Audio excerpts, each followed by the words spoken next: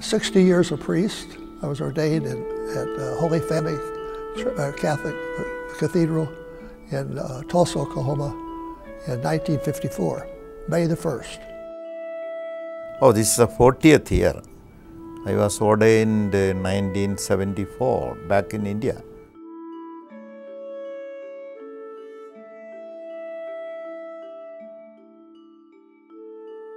It did not happen on a fine morning, you know, it was slowly, I would say, developing.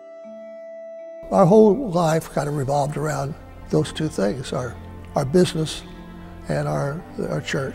It's like something that we cook, you know. We, we cannot say that at that particular time it is cooked, you know. It slowly, slowly warmed up and uh, is growing, you know. Fell in love with a pretty young girl from Kansas City, and then I had to make up my mind whether to check out this priesthood business or, or let it go. That's what I did. I checked it out and kept going. I would not do it for the same reason today. Not that I don't love the church, but uh, I only realized that uh, serving God came, came later in terms of my perspective.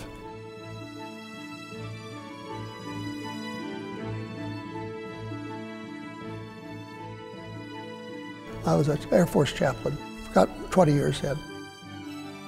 I was transferred to New Jersey. At the same time, I worked for the Syro Malabar Diocese, but the weather was too much for me. So I asked for a transfer, and uh, my bishop transferred me to Oklahoma. But when I came here, it was almost as worse as what happened in New Jersey. so I was given the coldest welcome when I came here this year, you know. Syro Malabar. It started in uh, India. We believe that uh, St. Thomas the Apostle uh, started that church and is spreading all over the world now. And in America, we started in uh, 2001. And uh, the faith is the same, but the expression is different. Uh, this is a rather small community, you know. So I don't think that this community is growing is not growing rapidly as it is taking place in other states, you know.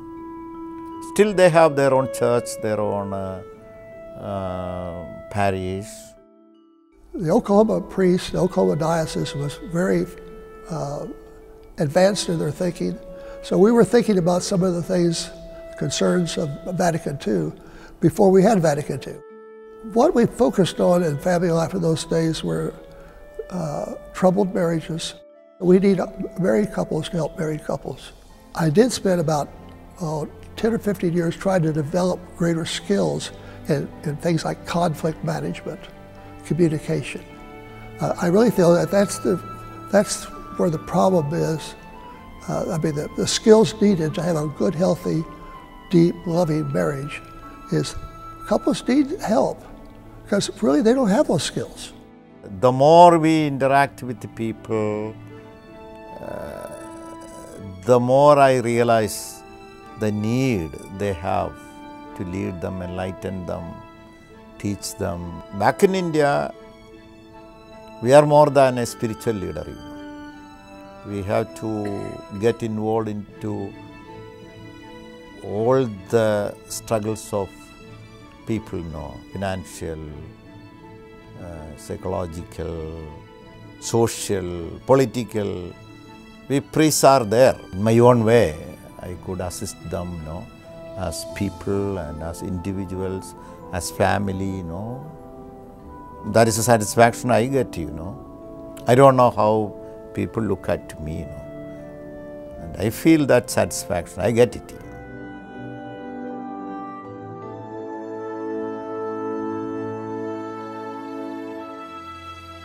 Many people I think who are Catholic are not realizing what, what they have because I think they're just losing something that's very precious. We have great parishes, but I still still think there's an awful lot of people that are drifting away, and I don't think we really know, figured out why that's so. I think there's a, uh, a great loss of, of, uh, of faith or of enthusiasm for the church. I don't see us are preaching five, ten minutes, 20 minutes a week. Uh, it's, it's just not going to get it done. Catholic Church is, I would say, far away from the people, from the grassroots level. You know.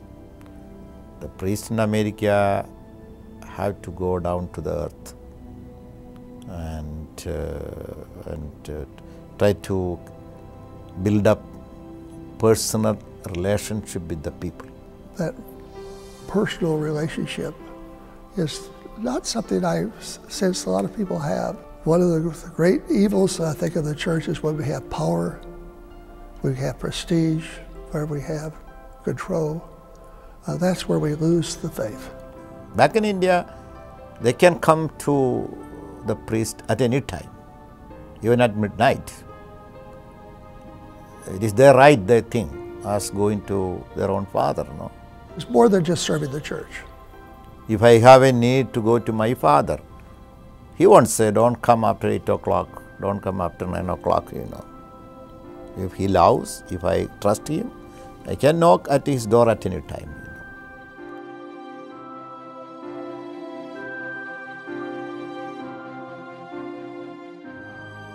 The more I